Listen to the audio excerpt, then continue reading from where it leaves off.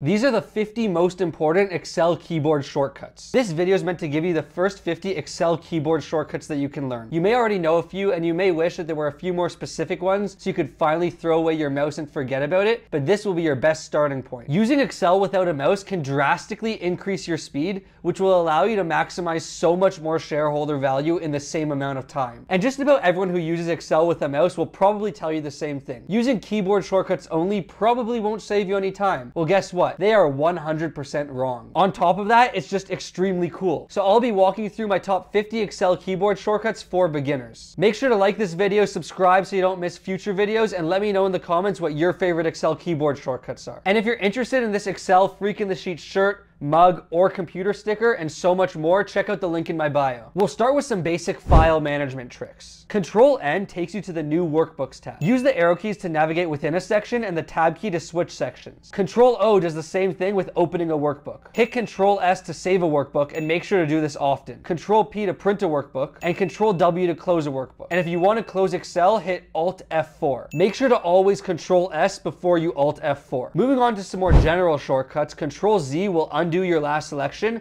and Control Y will redo what you just undid. Control C is to copy, Control X is to cut, and Control V is to paste. Control F is the keyboard shortcut to find something specific in your spreadsheet, or Control H is to replace. Use the tab key to toggle between different inputs and selections, and hit enter to press a button. Now let's talk about navigation keyboard shortcuts. This is likely where you're gonna see the greatest efficiency boost when building your spreadsheets. Use the arrow keys to move between cells. Hold Control and hit your arrow key to jump to the edge of a data region. This means that if I have multiple rows that are filled in and I start a few cells below, hitting control up will bring me to the bottom, again will bring me to the top, and again will bring me to the bottom of the next one, or the top of the spreadsheet. Hitting it when there is no data region in that direction will bring you to the edge of the spreadsheet. For example, hitting control down on an empty row will take you to the bottom of the spreadsheet. Hitting the home key takes you to the beginning of a row, and hitting control home takes you to cell A1. You can scroll up and down through your spreadsheet using the page up, page down keys, and you can scroll left and right by holding down Alt and using the page up, page down keys. Alt page down goes to the right and alt page up goes to the left. Holding control and using the page up and down keys allow you to switch between your worksheets. Control tab lets you switch between open worksheets. Now let's talk about some basic formatting. Most of you probably know these already, but hit control B to bold, control I to italicize, and control U to underline. Pressing control 5 puts a strike through through the text. Control shift dollar sign to format as a currency, control shift percent to format as a percent, control shift number sign to format as a date, control shift at to format as a time, and control shift exclamation mark to format as a number. Hitting control 1 opens the dialog box where you can use arrow keys to switch between number formatting options, alignment, font, border, fill, and cell protection options. Use the tab key to toggle between sections and the arrow keys to toggle within sections. Here you will have many more formatting options. There are keyboard shortcuts to do everything within the dialog box without actually opening it, but this way you only need to know one keyboard shortcut instead of memorizing a whole bunch. If you want me to make more videos with more advanced Excel keyboard shortcuts, be sure to let me know in the comments.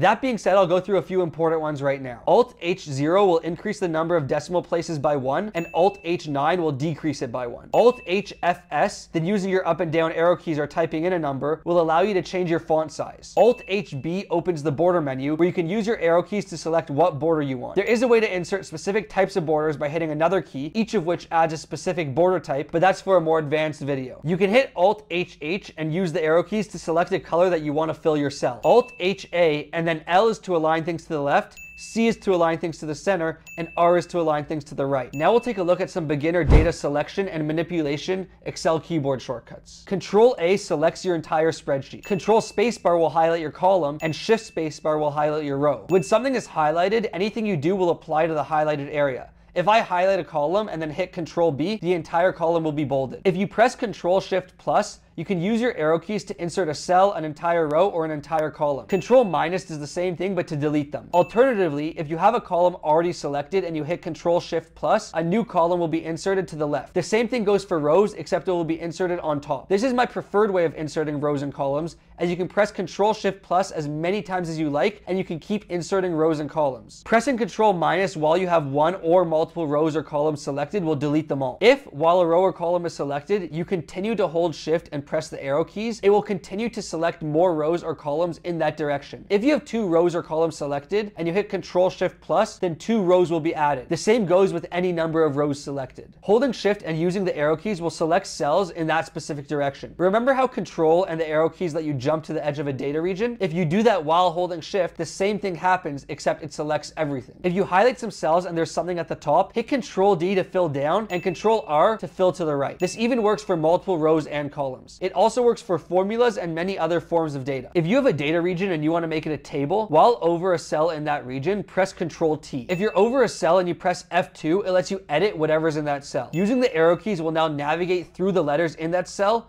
rather than through the spreadsheet. Press enter to exit this. Holding shift, then pressing F2 will allow you to add or edit a comment that will be viewable within the spreadsheet. Pressing Alt and C3 will allow you to add a comment that does not appear on the spreadsheet. After writing your comment, press Control Enter to post. Learning these 50 Excel keyboard shortcuts will make you significantly faster in Excel and you can brag to all of your friends that you know how to use Excel without a mouse. If you want to see more of these videos, be sure to like and subscribe and let me know in the comments what your favorite Excel keyboard shortcuts are.